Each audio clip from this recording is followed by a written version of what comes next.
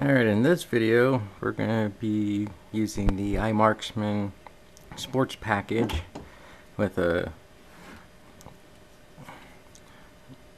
with a SIRT insert for your AR. So we're going to do a little two gun action.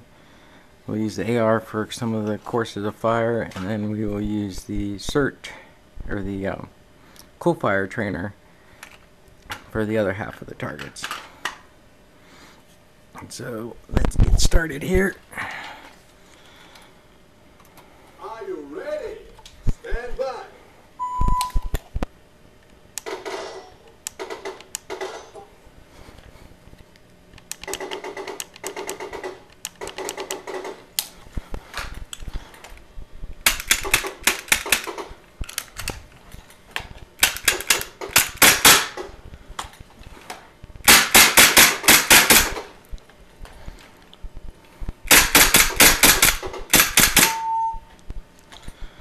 Alright, so that concludes the